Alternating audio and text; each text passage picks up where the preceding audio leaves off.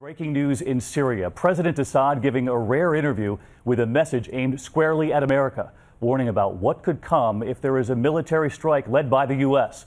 We have a team covering the crisis in Syria tonight, and we begin here with ABC's chief foreign correspondent, Terry Moran, who's in our Beirut bureau tonight. Terry, good evening. David, here in the Middle East, people are riveted by what they see unfolding on the world stage a showdown between two men, Barack Obama and Bashar al Assad. And Obama blinked. At least that's the general opinion here. And so today, Assad stepped forward into the limelight, full of defiance and dire warnings.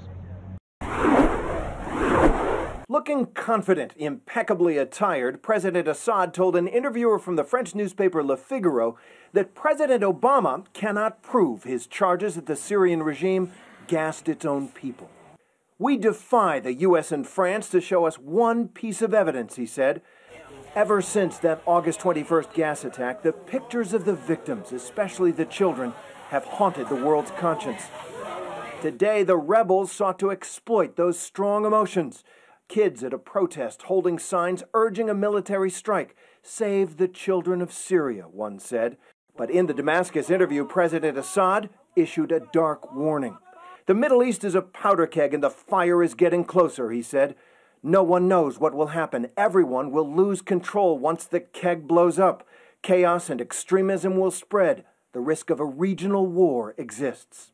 Assad and his supporters clearly feel strengthened right now, but they also know that an attack by the U.S. and allies could still come. Today, there is word that young people in Damascus, supporters of Assad, are volunteering to become human shields at the military bases and other facilities that are the likely targets of the cruise missiles.